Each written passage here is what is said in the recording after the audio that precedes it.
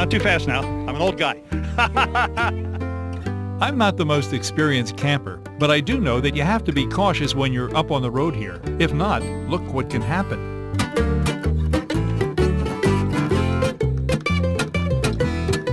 If anybody needs a hat, well, I have a big head. I have a big head.